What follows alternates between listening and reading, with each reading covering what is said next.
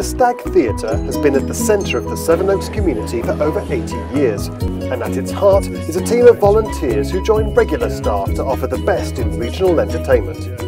Volunteers are part of a friendly team who can learn new skills behind the bar and as front of house stewards.